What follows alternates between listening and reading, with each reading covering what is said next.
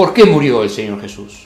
¿Por qué vino a morir? El Señor Jesús, aquí el Cordero de Dios que viene a morir una muerte que no era para él, era inocente. ¿Por qué?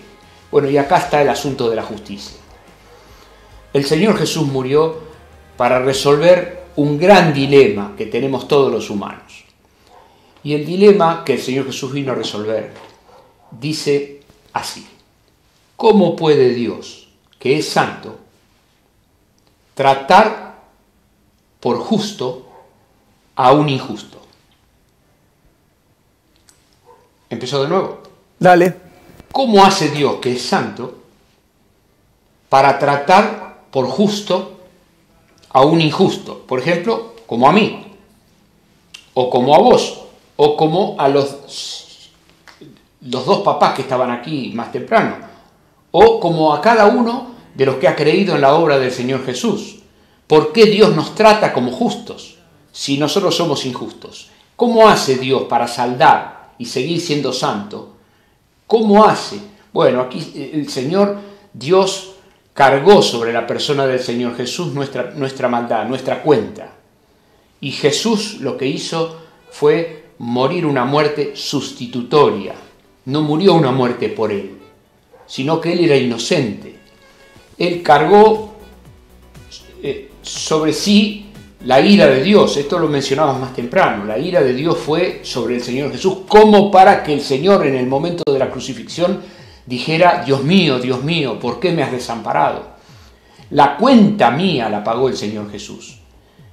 Y esto hace que ahora Dios me mire y me vea sin cuenta, sin la cuenta. Y entonces puede seguir siendo justo porque Él sació su justicia en la persona del Señor Jesús y me, ve a mí perdonado, porque el Señor Jesús pagó por mí. Yo pegué, yo pequé, el pecado se paga con la muerte, Cristo murió por mí. El hecho de justicia es que hoy seamos nosotros tratados como justos, aún siendo injustos. Y hay un hecho de justicia que fue justicia completado en el Señor Jesús. La justicia de Dios está satisfecha eh, eh, para, en todo aquel que se arrepiente y se confiesa. Ah, bueno, ese es un paso, ¿no? Porque si bien esto es un hecho eh, que abarca la humanidad completa, el, el ser acreedor de eso requiere de mí un movimiento de voluntad, ¿verdad?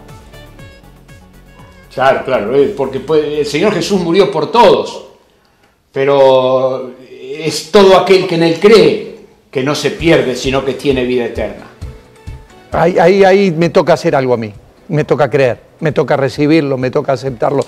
Eh, eh, tengo que, para hablarlo en, cuestiones de vida concreta, práctica, este es un hecho de justicia, es un hecho de índole espiritual, eh, pero en, el, en, el, en, la vida, ¿qué, gana uno al, al, al, cambio de trato de Dios conmigo? O sea, Dios, yo era un pecador que, eh, condenado a muerte y ahora estoy justificado. Mira, recién, recién acaba de, acabamos de tener en vivo y en directo un testimonio de esto. Este, Luis, que contó su historia. Hugo, Huguito. Contó, habló de paz, de la paz que Dios da. Y la paz que Dios da es por el perdón de nuestros pecados, porque nosotros no tenemos un dedo que nos acusa.